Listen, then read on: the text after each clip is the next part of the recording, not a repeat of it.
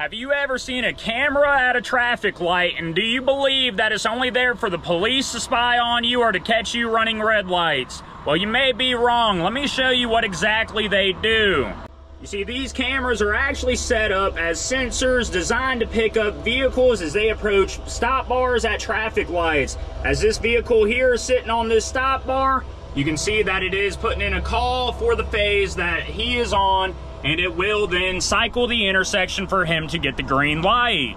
So as long as this vehicle is sitting at the stop bar and that camera is detecting him, you'll see that he is about to get the green light over on this approach. These lights are about to go green for him to be able to clear through this intersection.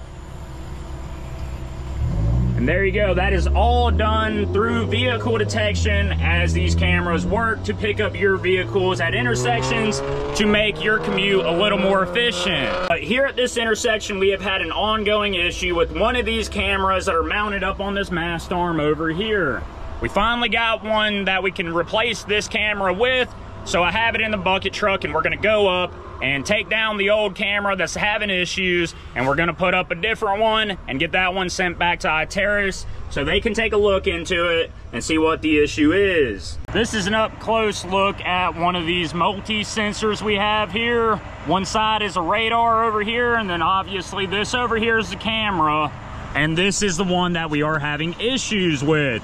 So what I need to do is remove these two bands and disconnect this Cat5 cable that's powering and communicating with this device. And then we can get it taken down and get it replaced with a different one. All right, here's a little bit better of a view of the camera that you would see at a traffic intersection. This is the radar right behind it. It's hard to tell, but there is a box back in here that you can adjust the radar. And there is a radar on the back side of all this plastic. And then you got the camera here and it is a Iteris Vector multi-sensor. This is what you would typically see at a traffic intersection. Now this one is having issues, so let's go ahead and set it down on the bucket truck down here.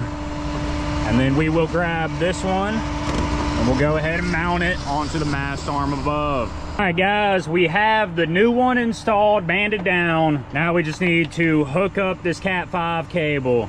This one I am gonna have to open up this top and I'll show you the little process board on the inside and then the wiring to that board. So let's go ahead and remove this guy. And here we go. So this is what the inside of one of these cameras look like. The process board that communicates and connects to the camera, the radar, and then the Cat 5 cable that runs all the way back to the signal controller cabinet across the street. And you'll see here, this is the wiring diagram that we got to do on this Cat 5 inside of this process or inside of this terminal block here and we should have everything working properly. So I'm gonna go ahead and strip back my Cat 5 cable, get it all stripped down to land inside of this guy and get it all hooked up. We have this wired up, it's ready to go. I just need to go ahead and close this up and then I'm going to set up these cameras and try to line them up with the lane it needs to be facing as best as I can and then we'll get over to that signal controller cabinet and get this guy programmed. If you're enjoying this video, make sure to hit the like button and also make sure to subscribe. Let's get right back into it. We have this camera all covered back up, ready to go. Camera's aimed pretty much right in the middle of that median in between the left turn lane and through lanes. We got to do some stop bar zones on the through lanes here, on the left turn lanes, and then the radar is going to handle the advanced detection. So let's get back to the traffic signal controller cabinet and get this guy programmed. All right, we are back at the traffic signal controller cabinet. Uh, let's go ahead and take this Cat 5 and plug it into this lightning arrestor, which is then followed through and plugged into this port here. And let's see, we are getting that indication light on. The other radar camera combo was not giving us that indication, meaning there's usually typically issues with it. And as you can see, the video feed is popping up for this camera, so we can go ahead and get this guy programmed. And of course, some more issues. Moved ports around and it looks like the port two on this ECU is having a little bit of a quirky issue. I went ahead and just power cycled it, waiting for it to boot all the way back up. Uh, but if you're another tech like me and you love maintenance calls, then start running this Iteris Next system because you'll have plenty of them half the time they work great. The other half is doing nothing but issues like it's doing here. I've already went through and deleted and rezoned everything, then it kicked me off. And now it's actually letting me delete the zones, thankfully. So, to program these cameras, it's pretty easy. You can draw in a zone once you have it set up. And then I like to get my lane structure kind of based up. It's kind of hard with one hand, but I'm gonna do my best. Come down to one zone. We're outputting that one to TS2 phase five. There's gonna be a left turn, and then it's kind of just copy one zone to the other. And now we have all our zones drawn up for phase five. I'll go ahead and get some zones drawn up for phase two.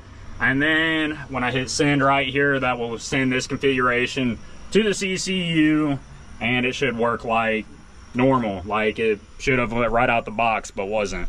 Uh, the radar is already set up on this guy. So the radar I've already been watching and it uh, has been working, thankfully.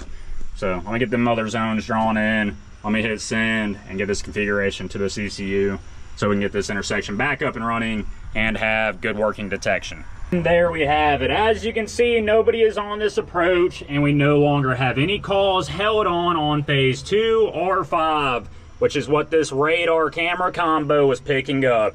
So it looks like our issue is solved and these people will have a much more efficient commute coming through this intersection. And as always, thanks for watching.